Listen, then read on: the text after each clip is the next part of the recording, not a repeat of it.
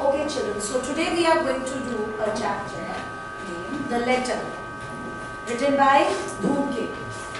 Now this is a story where you are going to understand the importance of letters. Can I ask you one thing first? What do you think is significance of letters? What is the importance of letters? The early letter was a very good mean of communication. From my family to another, and ma'am, it was also very cheap. So these days we have mails, we WhatsApp each other, we have mobile phones. So we communicate with them. But in olden times, we used to write letters. Now, can anyone tell me what people must be conveying through letters? What they must be conveying through letters? They must be writing something.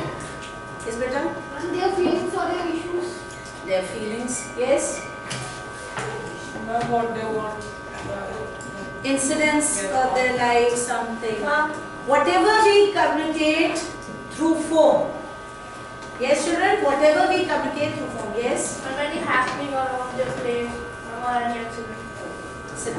So the basic point is letters used to convey the feelings, emotions. They were informative also. People used to give information to others through letters. Fine? Now, this is a story about a person named Ali, a very old man, Ali, a coachman, Ali. Now what happens? He used to live with his daughter. He was a very good huntsman. He was a very good hunter. He used to do hunting every day. He became very, very obsessed, passionate about hunting. He was a very good hunter. He used to do hunting. And then what happened? One day, his daughter got married and she went to some other place. Now this person became alone, totally lonely. He did not have anyone in his life.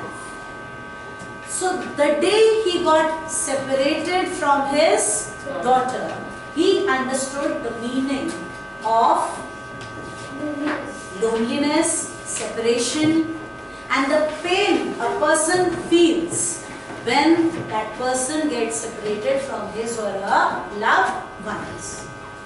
Okay? When we are living with our with the people whom we love, we are not able to understand the importance of those people in our lives. Fine? But if we get separated from them, we understand the importance of those people in our lives. So he understood the significance or importance of his daughter the day he got separated from his daughter. So right from that day till he died, he had only one motive in his life. He kept on waiting to receive a letter from his. He did not receive a letter. He used to go to uh, post office every day. Every day he used to go to post office. But did he receive a letter? No. Finally, he was obviously very old. He, uh, his, his health also started deteriorating. So one day, he went up to the clerk in the post office, gave him five golden guineas and said, these guineas are not of any use to me because I am going to die. You keep them with yourself and the day you receive a letter from me, please put it on my grave. That means Ali knew that he is about to die. But he had firm faith that that He would he So what does it tell you? One's love for one's child makes him endure pain, bear the pain. How do you learn to bear a pain? How can you learn to suffer pain and all that?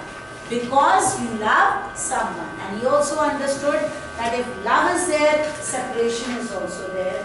And if we love someone, if we get separated from that person, we have to endure pain also Clear? So can we start the chapter? Yes? Let us start reading. Page 24. Can you read the first paragraph?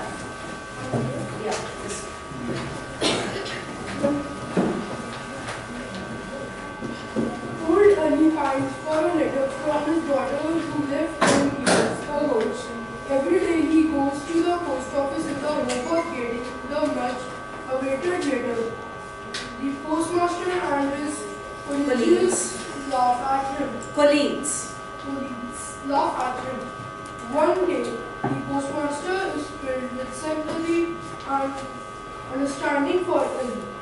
What causes this change heart? Next child.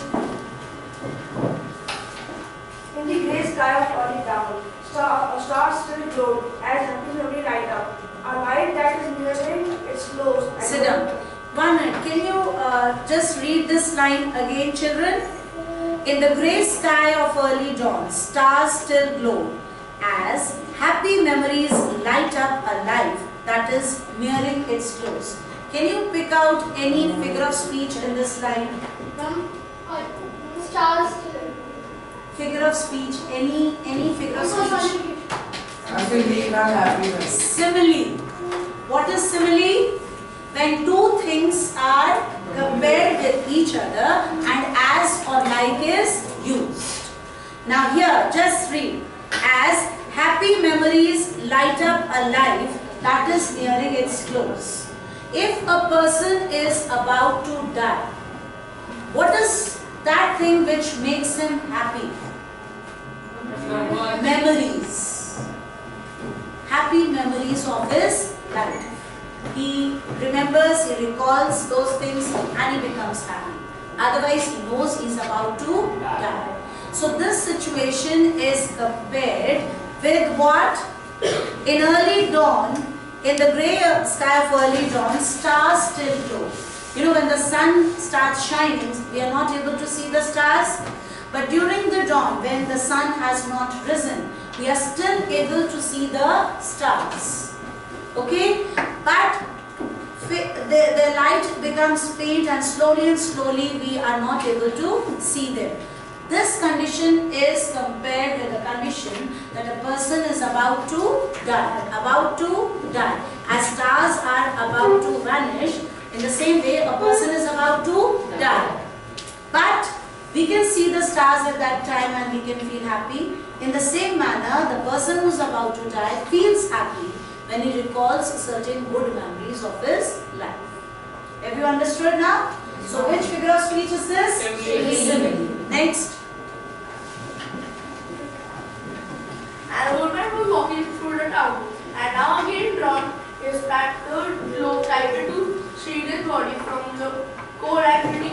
Biting wind. Biting wind. If When the wind is blowing uh, and it's very very cold, it bites you. It seems as if it is biting you. The old man shivering at times but fixed of purpose, plodded on till he came out of the town gate on to a straight road. Sit down. Now children, if this line is given to you, the old man shivering at times but fixed of purpose, plodded on till he came out of the town gate onto a straight road. And if I ask you, who is the old man, what would be your answer? Ali. Fine. And if I ask you, what is his purpose? What is his fixed purpose? But fixed of purpose. Can you imagine where he's going? Post office. So what is his purpose? He will go to post office to receive a letter from. That is his goal, that is his motive. That's why he used to go to post office every day. Every day he used to go to post office. Then if I ask you, what do you mean by the word plodded? Can anyone tell me? Plod. P-L-O-D. Come on. Just uh, read the line again. Plodded on till he came out of the town gate. It's very cold.